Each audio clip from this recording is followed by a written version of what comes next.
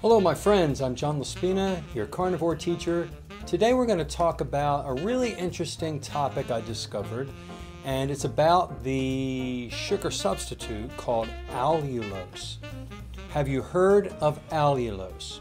There are many substitutes that people can use instead of sugar that do not raise your blood glucose. They don't stimulate an insulin response usually, and those are stevia, monk fruit, uh, erythritol. Allulose is one of those, and it's a really cool molecule, and I want to share this with you and take everything I say with a grain of salt because the research on allulose is fresh and new, and there's not a lot out there. But I wanted to share it with you because I found it pretty interesting. I, being a sugar addict, I am, I can't get enough of it once I taste it in my mouth. I can't have anything sweet or I can't stop thinking about it. So I test and have tested these sugar substitutes to see if I can use them to get at my addiction, but not have the negative side effects that sugar gives the body. So let's talk about allulose. Allulose is a stereoisomer. Stereo, two channels, right? Well, a stereoisomer is a molecule that looks just like another molecule but mirror imaged. So it's not exactly the same, but it, it's very similar. It's opposite in molecular structure. So if you have on the left side fructose, which we all know is a monosaccharide, it's sticky. It fructates, it, it glycates, but we call fructates because it's fructose. It sticks on, it causes fatty liver. It's not healthy to have a lot of fructose in the body. The mirror image to fructose is allulose. It looks the same except mirror image. There are benefits to allulose, however, unlike fructose. Allulose does not fructate onto your cells and cause damage. Allulose does not cause tooth decay. It doesn't promote cavities at all. Isn't that interesting that fructose does, but allulose does not?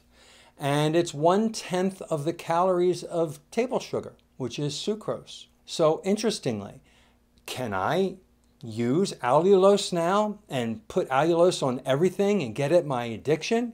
Well, I tried it. I bought the product. It's pretty expensive too. You get one little bag. It's about 10 to $15 a bag because it's very difficult to extract allulose from its natural sources. So it costs a lot of money for them to make it in mass quantities. But the demand is out there now because of all of the sugar substitute and they want to compete. And so you can buy pure D-allulose and you can put it in your coffee and you can sprinkle it on things and it really is sweet and it's really good and I tried it and it's delicious. So what I would do is I take my bag of pork rinds, which I used to only eat with a meal. I didn't use them as a snack. And I got the plain unflavored salted. It's fried in its own rendered pork fat. And I would sprinkle allulose in the bag and shake up the bag, like shake and bake, right? And then I would eat the pork rind, and oh my gosh, it was like candy. So good because the fat in the pork rind and the sweetness of the allulose, it was just like getting at my addiction. And so I would eat half a bag and save the half a bag for the next day. Then I'd eat the other half a bag, and I considered a half a bag a serving. Well, what does an addict do? The addict can't stop thinking about something that's so amazing that they're addicted to. So in my brain, here's what my addiction brain did is even though it wasn't sucrose, even though it wasn't raising my blood sugar, even though it was not stimulating an insulin response, which can be checked with a blood meter, and I did check it, and I got no insulin response. I had no raised blood sugar when I ate allulose. So it, it's true. But here's the but part the addiction part is so amazingly good to me that all I could think about was getting at that bag again. And I would have to use my own self control and say, No, John, have the other half of the bag as a snack tomorrow. And I couldn't get the thought out of my head. And I pushed it till the next day, and I couldn't wait till lunch was over, and I would count my hours, and then I would say, okay, it's two o'clock in the afternoon. My stomach, I should be able to have this. And I could get at the bag and finish the half a bag. I'd shake it again so the all allulose got on top of the pork rinds, and I'd eat it. It was absolutely delicious. Then I went and bought a whole bunch of bags at the store and stocked my cabinet. I had my big bag of allulose, and I did this for a week or so, and I ate a whole bag a day. Then I was going up to a bag and a half a day because I loved the stuff so much because of the allulose, because of the sweetness. Now, I wasn't stimulating an insulin response, I wasn't raising my blood sugar, but what was I doing? I was overeating. The allulose stimulated my sweet addiction in my brain and it made me want to have more and more and more. Didn't matter if my stomach was full, didn't matter if I was hungry or not, I wanted that sweet taste. And that is addiction, my friends. You can even become addicted to a sugar substitute. So I threw the rest of the bag of allulose away after I finished the pork rinds. and I stopped buying more. And I also noticed my weight was going up when I was eating all these pork rinds. I was gaining weight. I had to stop eating all this stuff. I was just eating more volume because the allulose was making me just want more and more and more. So I stopped.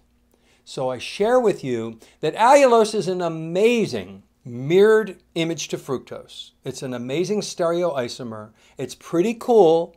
It has all these wonderful GLP 1 type um, effects, very similar to those drugs that people take to lose weight. Like if you use allulose, you get a little, a little bloating feeling in your guts, and you don't want to eat more food physically. Like it has a little bit of a glucagon peptide 1 type response. But for people like me, I can't even do allulose because it stimulates my sweet addiction even though it didn't glycate and even though it didn't have an insulin response and it didn't raise my blood sugar, it made me eat too much and I couldn't stop thinking it. It changed my brain waves because all I could think about was getting more and more and more.